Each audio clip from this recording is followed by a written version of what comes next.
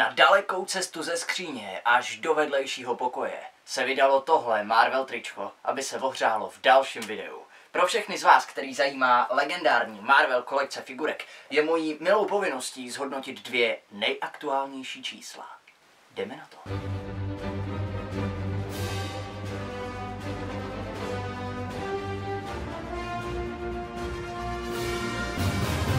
Čau a sláva všem marveláckým fanouškům. Jak už jsem říkal, dvě nejaktuálnější čísla. V tomhle případě to znamená číslo 42, tedy She-Hulk, a 43, což je Iron Fist. Vy možná tušíte, že zítra už vychází číslo 44, čili to potom bude nejaktuálnější a to je Luke Cage. Ale vzhledem k tomu, že ta figurka se mi moc nelíbí, seriálu jsem viděl asi dvě epizody, tak uh, mě tahle figurka zrovna neláká. Pojďme se podívat na časáky. Vy víte, že časáky hodnotím vždycky jako první.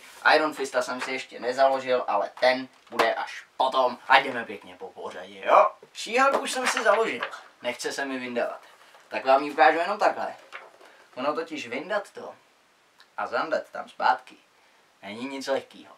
Šíhalk vypadá moc dobře, respektive její obálka časopisu. Taky se podíváme na plagát, což je naše klasika který, jak je zase klasika od uh, Eagle Mossu, není uprostřed, nicméně, a tohle není úplně klasika, vypadá hodně dobře. Takže pro ty, co mají rádi Halka, Halkovi schopnosti a jeho sestřenici Jennifer, tak tohle je úplně skvělý plagát.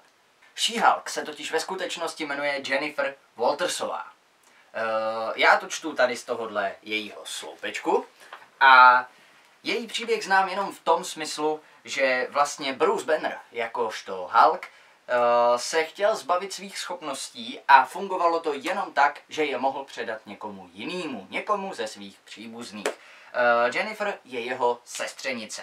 Jennifer se dokáže obvykle proměnit v She-Hulk silou vůle, což je zase od Bruce Bannera trošičku rozdílné.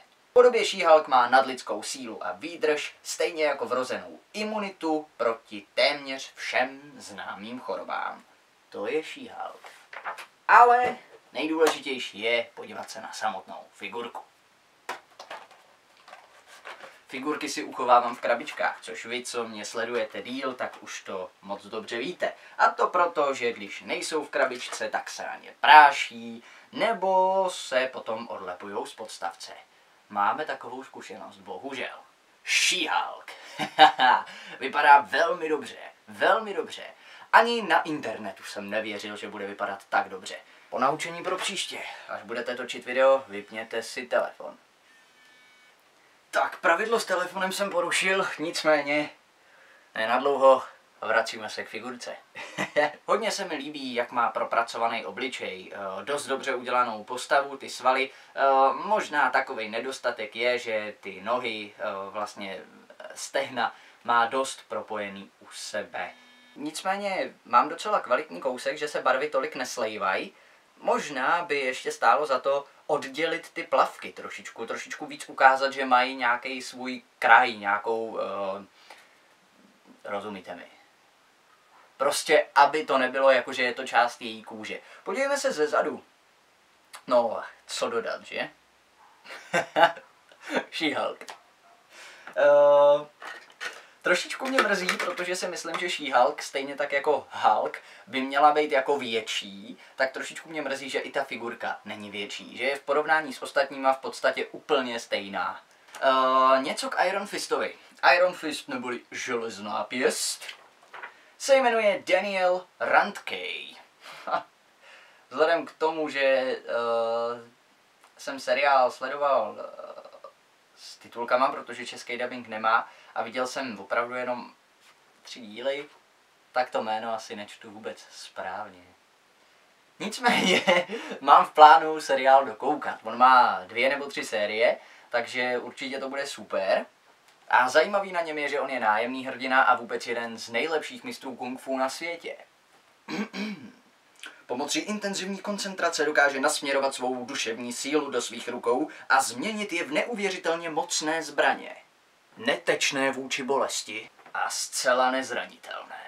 Umí také ovládat svou spirituální energii, energii čchy a tím hojí rány svých bojovníků. Díky síle čchy také navazuje duševní spojení se svými dalšími hrdiny a dalšími osobnostmi.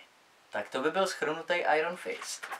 Obálka časopisu se mi moc líbí, stejně tak jako uh, třeba plagáty vůbec uh, k seriálu.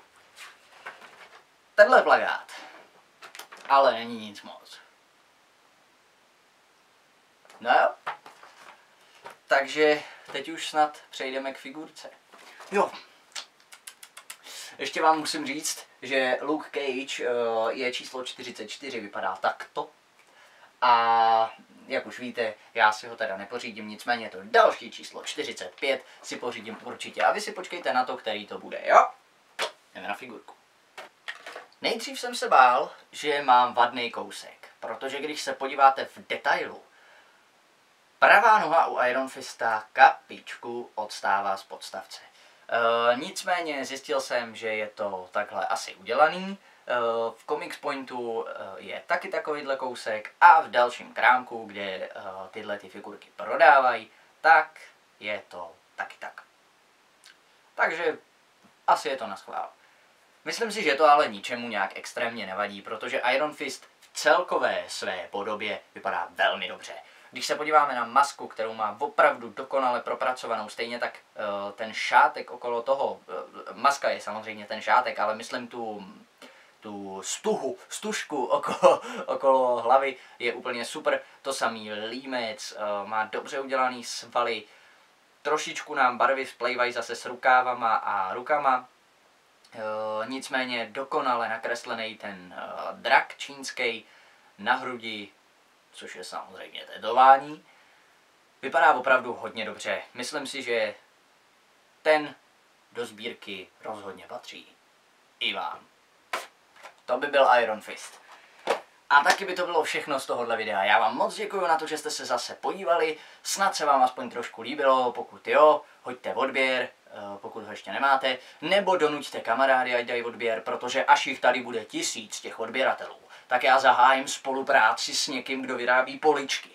Víte proč? Protože tyhle ty figurky už se mi prostě nikam nevejdou, už jsou v té poličce tak, že překrývají jedna druhou a to mě mrzí. Když někdo přijde a chce vidět třeba Punishera, tak já mu řeknu, no jo, ale musíš si odendat tohodle, tohodle, tohodle a teprve pak uvidíš Punishera.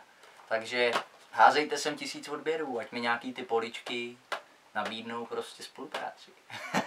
a nebo vůbec Eagle Most, jo, to by taky bylo. To by vůbec nebylo od věci, bych ušetřil za figurky. ne, že bych do toho ty peníze rád nedal. Jo, to zase jako jo. Mějte se pěkně a děkuji, že jste se podívali. Čau.